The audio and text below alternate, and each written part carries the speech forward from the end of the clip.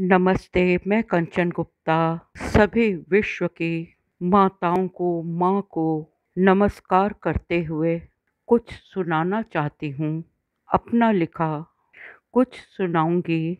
आज happy mother's day पे माँ के गुणों को, संसार के सभी बनों की लकड़ियाँ इकट्ठी करके कलम बनाई जाए और सातों महासागरों को, समुद्रों के पानी को मिलाकर स्याही बनाई जाए तो भी माँ के बारे में जो लिखा जाएगा वो माँ के किरदार, व्यक्तित्व पर्सनैलिटी के आगे बहुत छोटा है।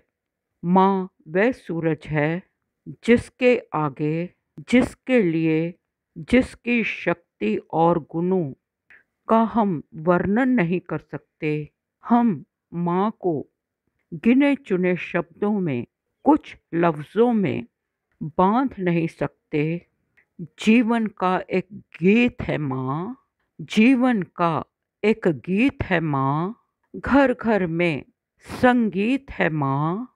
माँ की लोरी, माँ का दूध अमृत है और जीवन है। सब त्योहारों में सबसे सुंदर शुभ करता एक रीत है माँ। तेरी माँ और मेरी माँ की वृंदा है, तुलसी है, नक्षत्रों में अभिजीत है माँ।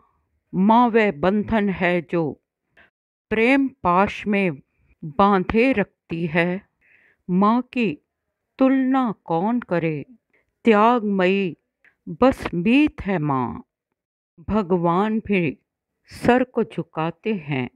हनुमान से बढ़कर, अंजनी है माँ, आँखों का अंजन है माँ, आँखों का काजल है माँ माँ दुर्गा है माँ, है भारती, और घर की लक्ष्मी है माँ। जिस घर में माँ नहीं होती, उस घर में किस्मत है सोती, अपने बच्चों की देखभाल में अपना जीवन निछावर करके ममता के बीजों को बार बार बोती है माँ।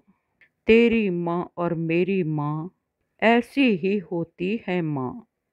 ये कविता बहुत बड़ी है, किसी रोज़ ज़रूर सुनाऊँगी। इस छोटी सी कविता को सुनने के लिए आप सबका धन्यवाद।